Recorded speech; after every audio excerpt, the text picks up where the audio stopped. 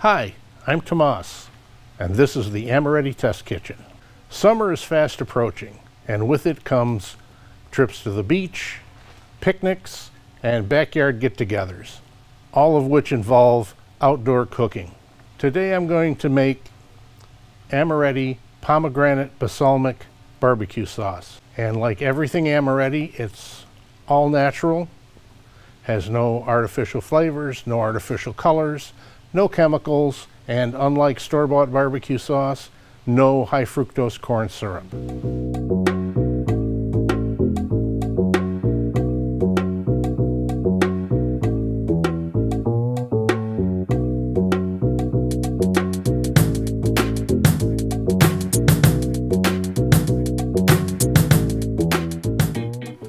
Start by heating a medium-sized saucepan over moderate heat, then add the olive oil and wait for it to shimmer. Once it starts shimmering, add your onions and saute the onions until they're translucent but not brown. Once the onions are cooked, add your garlic and saute for 30 to 45 seconds just until fragrant. Don't burn the garlic or it's going to make your sauce taste bitter. Add your tomato paste.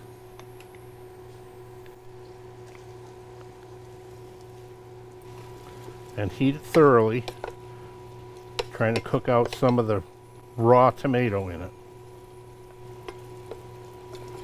Then add your balsamic vinegar.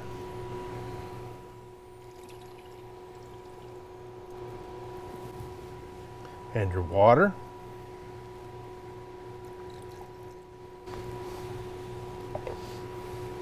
Stir it and bring it to a boil.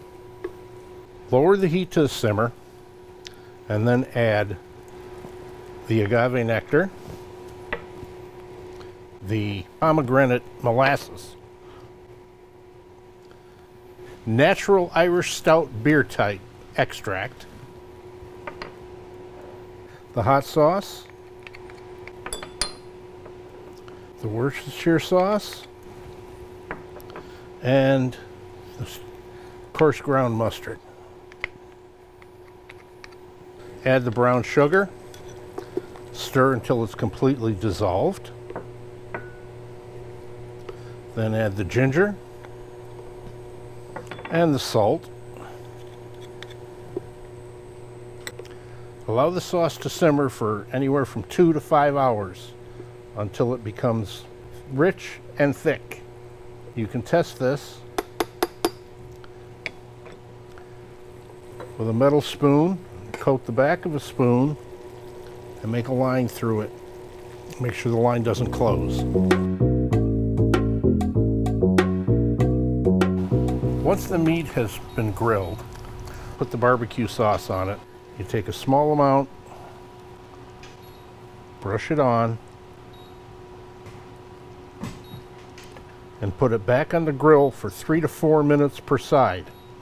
Watch it very closely because there's sugar in it. Sugar burns very easily. Once the sauce is hot and bubbly, your job is done and you can serve.